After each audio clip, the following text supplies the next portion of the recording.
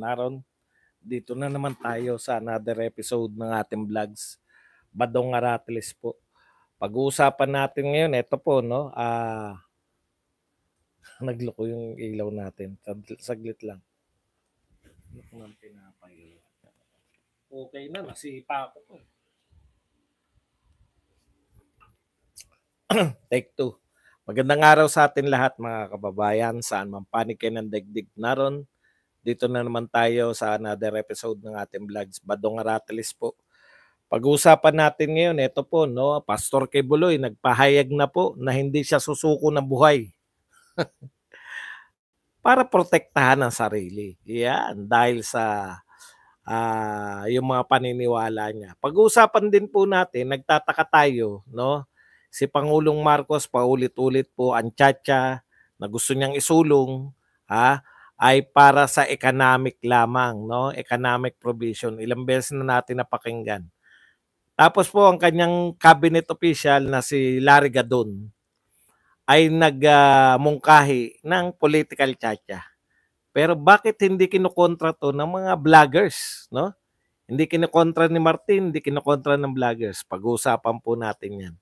At pag-uusapan po rin natin kung paano po yung resulta ng mga survey ay pwedeng i-manipulate ng isang bias na interpretasyon. No? Nakita natin yan kahapon sa pamamagitan ni Ed Langaw. Ito po, meron po. Ang pagkakaiba lang nito, meron tayong survey na masisilip. Eh. Yung kay Ed Langaw talagang totally wala eh. Yan po mga pag-uusapan natin pero bago yan, kung bago ka pa lang dito sa ating channel, mag-subscribe ka na. Dahil ito lang ang tayong channel na may kinikilingan, may pinapanigan, una sa balita, huli sa impormasyon, kaya ano pang hinihintay nyo? Pindot na. Okay, pag-usapan po muna natin, no? Ah, sabi po ni Pastor, ah, ito, ito, ah, baka sabihin nyo naman na, ah, Badong, bakit ah, parang ah, sumasana? Sabi ko po, ay meron pong karapatan, meski nga po yung nakakulong na eh, may karapatan pa magsalita eh. Ito po pinapahayag niya. Maring di po ako sang-ayon, maring sang-ayon ako. No? Ah, kung ang tinatanong niyo ay guilty ba o hindi guilty. Aba, hindi po 'yan. Ha? Hindi po 'yan usapin ng guilty ba si Kibuloy o hindi. Ito po ay ang makakapagsabi lang po niyan, korte, no? Ah, ito po yung karapatan mo magpahayag. Eh, si Laila de Lima nga nakakulong na eh. May karapatan pa rin siya magpahayag. Di po ba? Okay. So ayon po kay Kibuloy, eh yun nga po no, paulit-ulit siya na sa tingin niya, ma-assure lang siya. Gusto niyang sa korte, hindi po sa Senado. Mas gusto niya po yun sa korte. Pero ang gusto niya, assurance na hindi po makikialam. Kasi matagal niya nang pinagbibintangan yung US yung mga puti ay uh, pakikialaman yung kanyang kaso, no? Yun po lang naman assurance.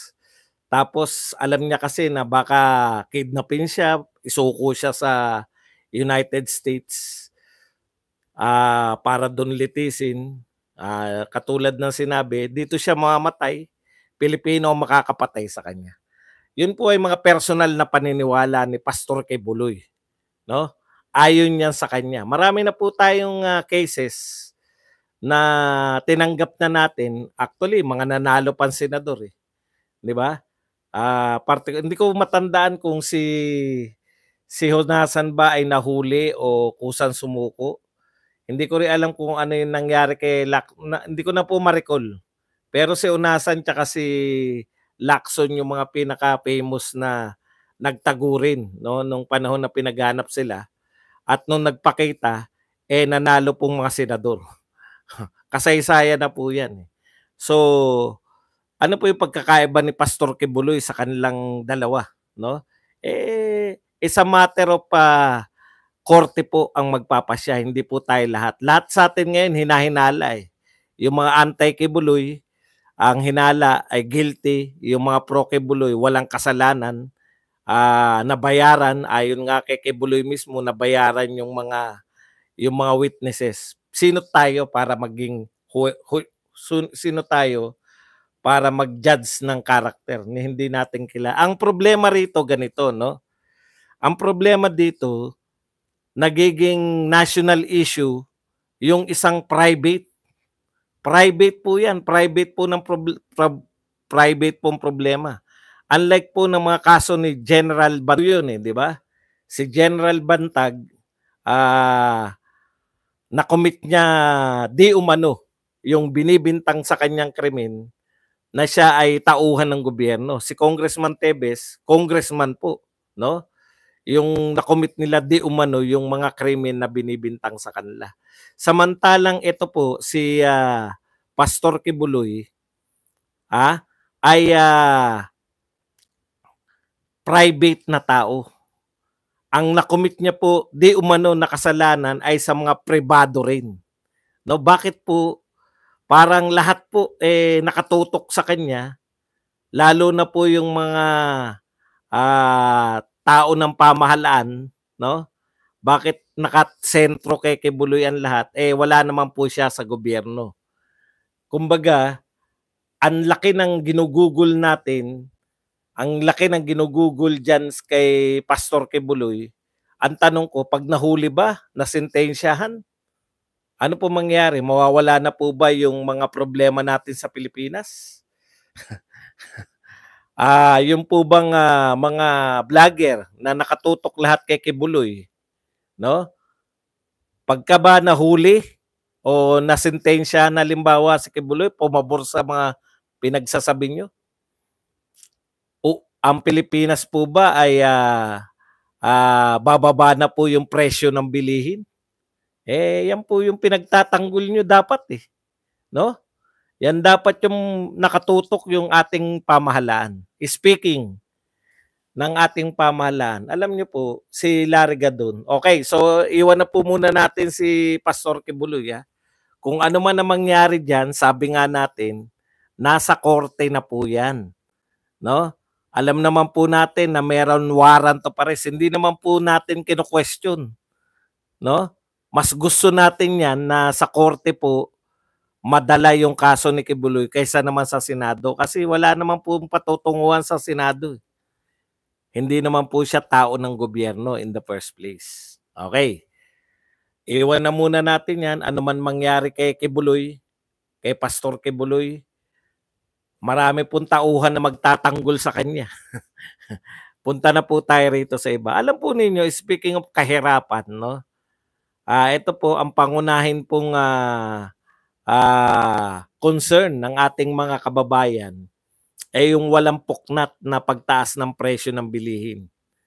Ngayon na naman po, inannounce na. Hindi ko alam kung next week ba o bukas na magsisimula yung malaki ang pagtataas naman ng presyo ng langis.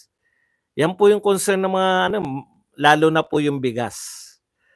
Okay. At mula po sa mga pahayag ng ating Department of Agriculture, ah, hindi po sumasaya eh. No? Sabi niya, anihan ngayon pero hindi bababa ang presyo ng bigas dahil may El Nino. Ang problema, paano kung tapos na yung anihan? Ine-expect natin na tumaas yung presyo ng bigas? Tapos mababalitaan natin yung NFA, ha? Walang katarungan eh. Nabalitaan nyo ba na may nakulong? Nabalitaan nyo ba na may natanggal man lang? Sinuspindi. Pero ngayon, yung mga sinuspindi sa pagkakaalam ko, balik na po sa pwesto. Habang tayo ay nagtitiis, maraming mamamayang Pilipino nagtitiis sa mahal ng bigas, mababalitaan natin yung NFA nagtinda ng 25 pesos na bigas sa mga mangangalakal ng bigas.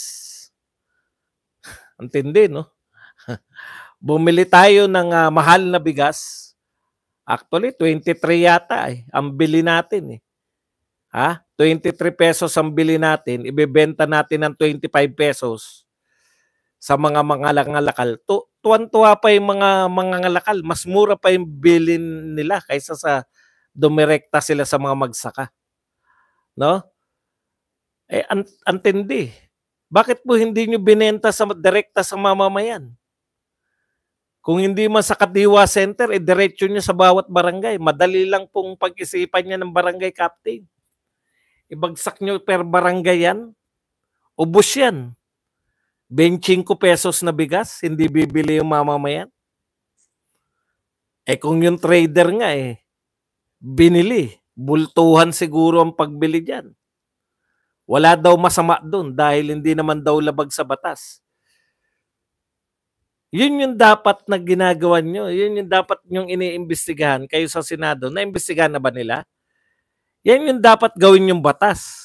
Kung sinasabi ng NFA na wala silang nilalabag na batas kaya wala na sususpindi, baguhin nyo yung batas. Bawal itinda sa trader yung galing ng NFA. Napakasimple lang po nun.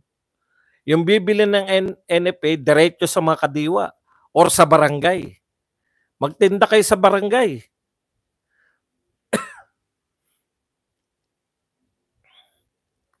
Kaya, ang sama sa loob eh. Hindi po masama sa loob kasi yung iba nangangatwiran. Bakit sa Pilipinas lang ba mataas ang presyo? Buong mundo, mataas ang presyo ngayon. Opo, pero wala pong NFA sa buong mundo eh. Wala po kami nabalitaan sa buong mundo na nagtinda ng 25 pesos sa mga rice traders. Dito lang po sa Pilipinas yun. Ibig sabihin, pwede makapagtinda tayo ng 25 na pesos na bigas kaysa 50, 60, 70.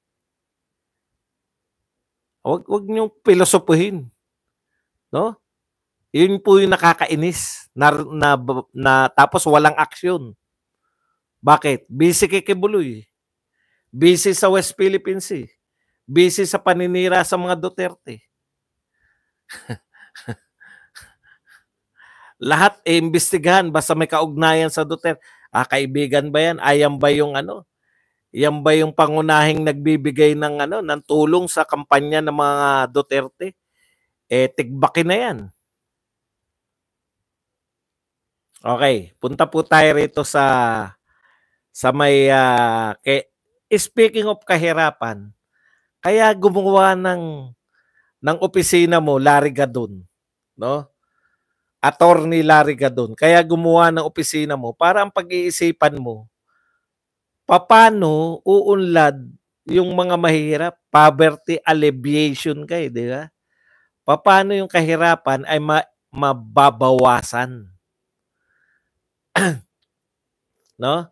Paano? Eh hindi ang inuna ni ni ano ni pag-isipan ni Gadon, itong inunang pag-isipan ni Gadon. Paano ma-extend yung mga uh, panunungkulan ng mga mayor, congressman, governor, gagawing mula 3 years, gagawin 6 years. Paano pararamihin yung mga senador? Eh malamang para makapasok na. Kasi sa 12 hindi nakakapasok eh. Kung 24 siguro yung pagbobotohan, gagawin 48 eh. Ibig sabihin, 12-12 o yung unang bagsak niyan. Pag ginawa po kasi nga 20 ay 48, yung unang bagsak ng mga senador, 36 yung iboboto natin. May matitirang 12. Yan po, yan po ba ang trabaho nyo? At ang katakataka, no? Ang dami na po nagsalitang senador. Sa mga congressman, bakit hindi nyo po makontra? Na-disbar na ba? Hindi pa naman. Parang parang suspended pa lang. Hindi pa siya totally disbar. Suspended pa lang. Ewan ko ah. Uh, pasensya na, hindi ako ano. Alam ko suspendido eh. Yung pagiging abogado niya. Anyways, immaterial na po yan. So, ito po. Imbis na pag-isipan mo, paano matutulungan yung mahihirap, at ah, disbarred na. Oh, sige. Eh, inaatupag mo, paano extension, paano, ng tinapay naman, no. Ngayon, wala naman po silbi yun. Hindi naman automatic na naisip mo yan, ay papayag na. O, kung disbarred na po, pasensya na kayo.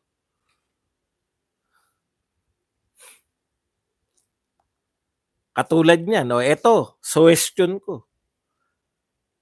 Insulto po to eh. Alam niyo yung, yung ito ang una, bakit sa administrasyon ni PBBM, kahit sino, kahit spokesperson, ay wala nga pala spokesperson. Kakaiba, no? Lahat ng presidente, Vice President lang nga, may spokesperson eh. Presidente lang nga ng mga kumpanya, may spokesperson eh. PNP, may spokesperson. AFP, may spokesperson. No? Eh, yung pong mga departamento, may spokesperson. Pero po ang Pilipinas, ang Office of the President, wala pong spokesperson. Kakaiba ka talaga, PBBM. Eh. Bilib na bilib ako sa iyo. Eh. No? Sabi ni PBBM, ako ang ako ang spokesperson. Siya daw ang spokesperson niya. Eh, ano pa ako no, unity pa ako. Pero takan-takan na rin talaga ako noon eh. Paano ka magiging spokesperson ng sarili mo? Kaya wala nagpapaliwanag eh. Kanya-kanya eh. Kanya-kanya interpretasyon. Eh, ang gagaling ng mga vlogger niya mag-interpret. Sabog. Sabog pagdating sa tao. Nagtataka ba kayo bakit hindi kayo umaangat sa survey? Spokesperson, spokesperson ka na sarili mo. Ngayon lang po ako nakarinig.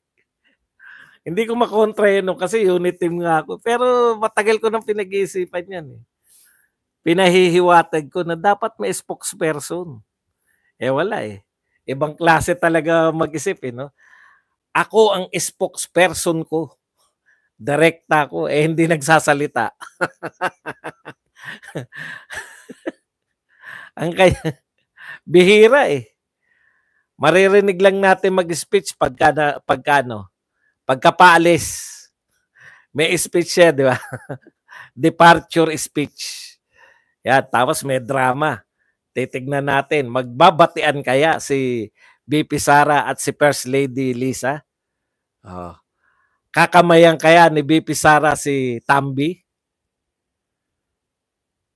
Eh, dramang inaabangan natin, eh, departure speech. Asa na spokesperson na ikaw? Ang dami mo. okay.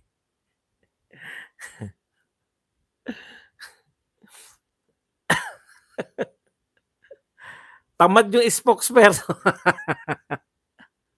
Tamad yung spokesperson ng Pangulo.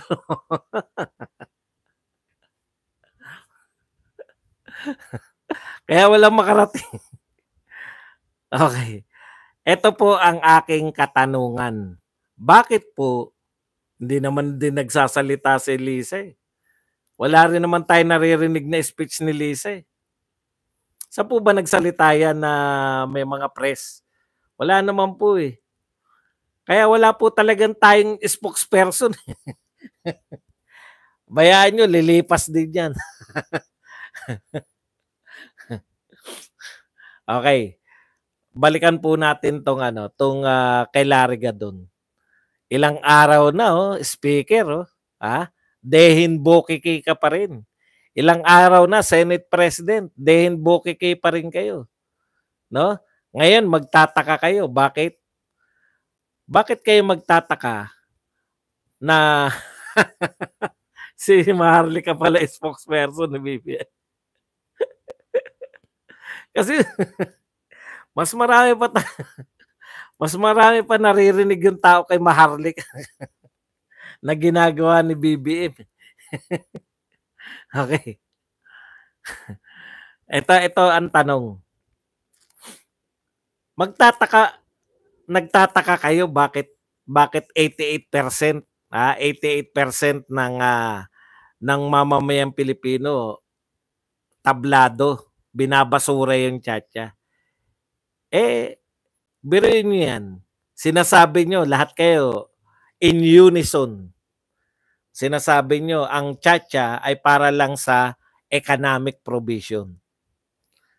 Uh, di dapat, kung may kumontra dyan, kung dapat may nagsuggest, katulad ni Gadon, sabi ni Gadon, ah, ano, mag-extend tayo ng uh, panunungkulan ng mga congressman, gawin natin 6 years mag-extend kayo ng panunungkulan ng mayor, governor. Gawin yung 6 years. No? Palitan natin. Palitan natin yung presidential. Gawin nating parliamentary. Bakit hindi nyo kinukontra? Ibig sabihin, talagang etong tsa na 'to, tama yung mamamayan, wala kaming tiwala sa inyo. Kasi kung ako yan, kokontrahin ko kaagad yan, hindi naman hindi naman nilihim ni Gadon, eh. Laman ng lahat ng dyaryo yan, eh, may pa-picture pa nga siya nung nung sulat niya sa inyo, eh. Ano ba naman yung isang pahayag na hindi namin yan, ang tsa ang kasunduan namin, economic lang. Kaya lalong walang magtitiwala. Yung 88% baka madagdagan pa yan sa susunod na survey. No? Baka wala na talaga magtiwala sa inyo. Okay. Kasi hanggang ngayon, hindi nyo kinokontra eh. Mga vloggers din. Kala ko ba pro Marcos kayo? Kinokontra ni Gadon yung sinasabi ni Marcos. Ano sabi ni ano ni Pangulong Marcos? Economic provision lang ang tsa Oh, sabi ni Gadon, sinasuggest ko na magdagdag kayo ng senador. Para baka manalo na ako dyan, 36 na. Pag naging 48, unang botohan ng senador, 36 na senador. Ewan ko lang kung hindi pa pumasok si Gadon dyan.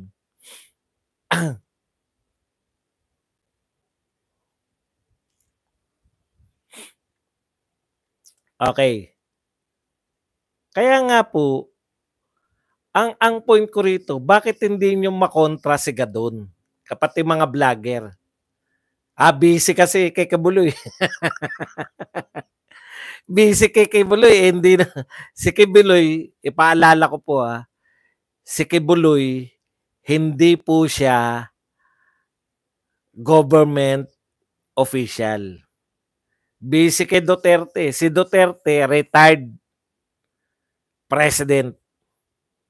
Uh, pero, siyempre, kinakabahan kayo dahil baka tumakbo eh.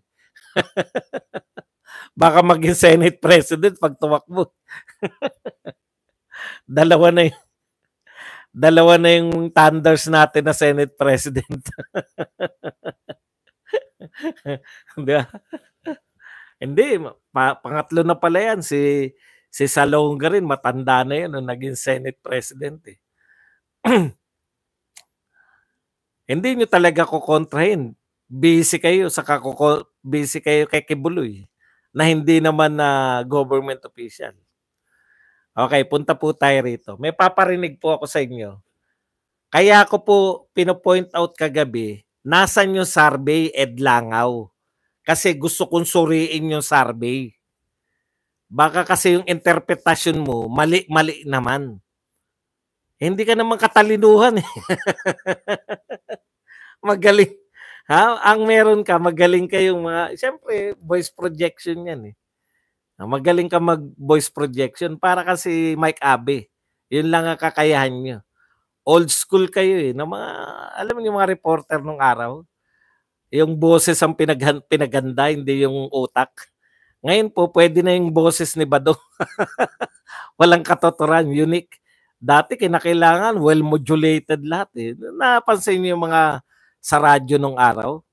Lahat niya well-modulated. Si Paring Ray, Paring Ray Langit, Rekradam, Ray Langit, Kaloy Castro, uh, si Kabayan, Noli de Castro. Di ba? Lahat sila magaganda boses eh.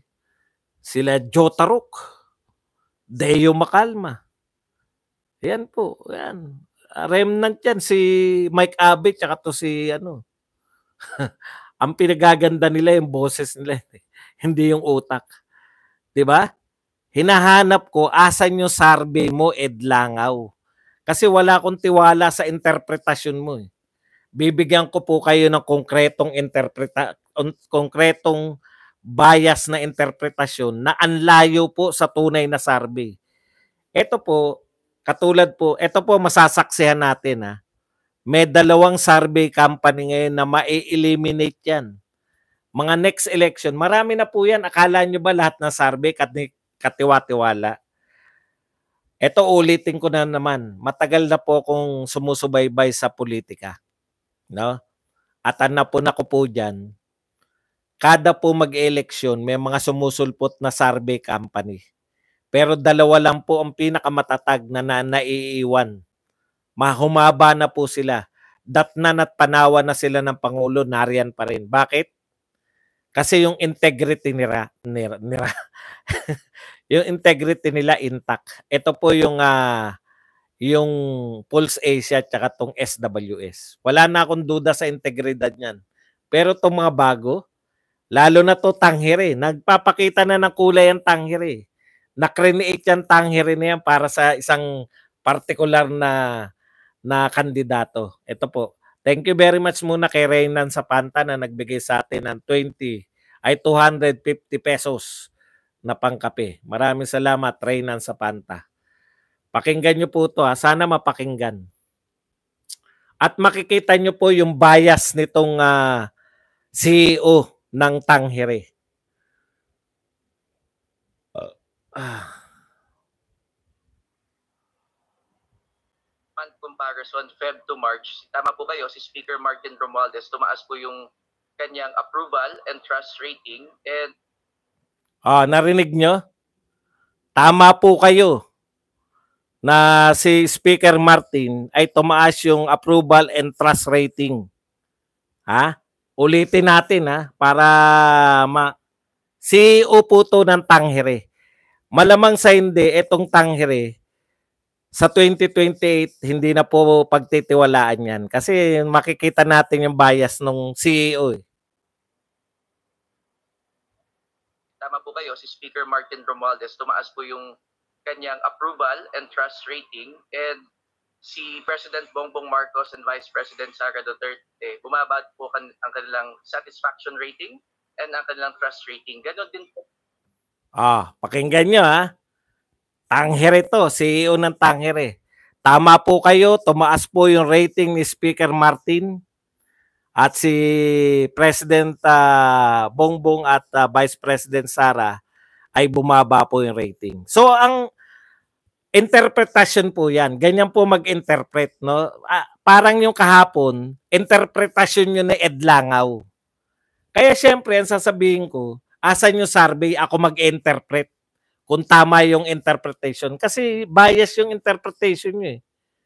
Alam nyo na kung kanino yung bias. Bias kay Martin. So kung pakikinggan mo lang tong tao na to na CEO daw ng Tanghire, no? At saka tong uh, babasahin nyo lang to. Ito po ang sinasabi, oh. Nakatulong uh, ayon sa CEO ng Tanghire na si Martin Peñaflor, nakatulong ang pagtutok ng media sa charter chains o chacha sa pagtaas ng ratings ni Romualdez at Subiri. No? At paborable ang pagtingin ng tao sa dalawang pinuno dahil mataas ang awareness sa pagkakakilanlan sa mga ito.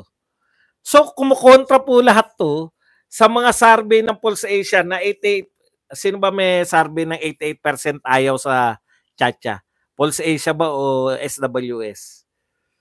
Parang da, tumaas daw si Martin dahil sa awareness ng tao sa Chacha.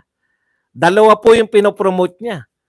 Gusto ng tao yung Chacha at uh, ma, tumaas si Martin. Yung pagpo-project niya ng tumaas si Martin, parang si Martin ang pinakamataas eh. Di ba? O, mula lang sa sinasabi niya. Tuloy lang natin. Our cabinet of the Marcos administration w- bakit kaya siya House Speaker? What contributed to his uh, parang uh, 1% increase yata sa trust niya? No? Sa performance ako, nakarinig ko nakita yung data. Okay. That's a that's a great question, ma'am. Kasi po, kung alam naman po natin ngayon na mainit na usapan ay yung charter change and lagi pong nababalita sa sa mga sa mainstream media yung charter change between yung usapan po sa Kongreso and sa Senado. Kung papansinin niyo po, that's also the reason why hindi po bumaba si Senate President Miguel Subiri po. Okay. Ayan uh, ha, pakinggan nyo ha. So, kinatwiran niya charter change kaya tumaas. No? Kinatwiran niya charter change kaya tumaas si Martin. Okay. Pero wala po sa survey yun. Interpretasyon niya lang yun. Di ba? Uh, interpretasyon niya. So hanapin ko ngayon, hinanap ko ngayon yung tanghire. Kasi pag, pag pinakinggan mo lang tong mga ganito, Putan, taas pala ni Martin. Tapos ang baba na ni Sara Duterte tsaka ni Bongbong. Di ba? Sa narinig nyo, yun lang kasi narinig nyo, hindi pa pinapakita. Hanapin nyo ngayon yung survey, kayo mag-interpret. Sa survey, ganito. Ito po, sila na may pa-survey na to ha. Pa-survey niya na to. Pero interpretasyon niya, pamagat pa rin. Romualdez, ito po ang pamagat. Wala pong BP Sara, wala pong Bongbong Marcos. Romualdez trust rating, satisfaction rating slightly up in Tangere survey. Si Martin lang ang politikong kilala nila kinakailangan nilang i-promote, di ba? Okay. So, si Martin ang bida pala rito. Romualdez, siya kagad, no? Receive a 41, sati- 41% satisfaction rating or 1%. The speaker garnered 1% increase in trust rating na 52%.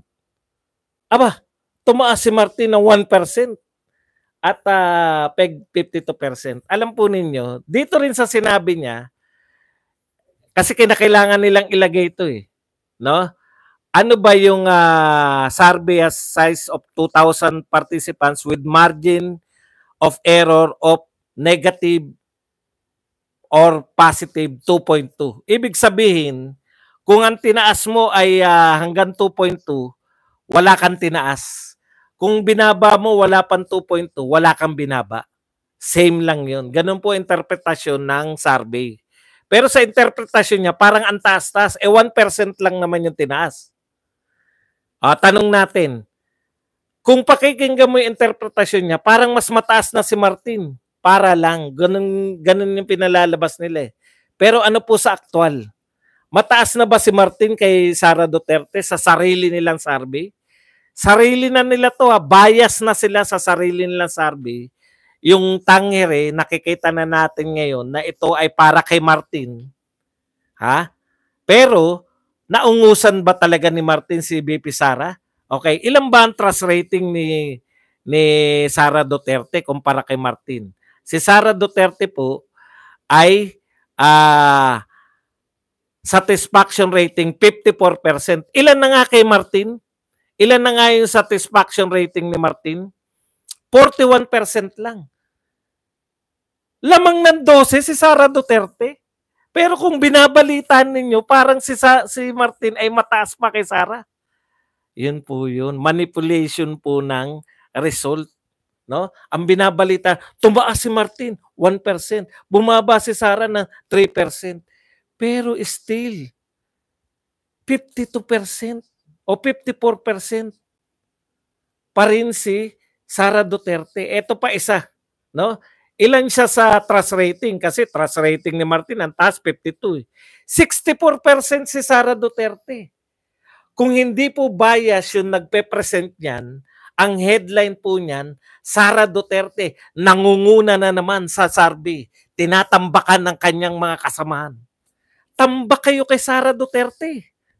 Pero dahil may manipulation, gusto ninyong ipakita na si Martin ay tumataas, gusto ninyong ipahiwatig na mas mataas pa siya, pero sa katotohanan, pag tinignan mo yung survey, kaya ang inuuna kong hanapin kahapon kay Ed Langaw, asan yung survey? Bakit nauuna pa yung interpretasyon mo?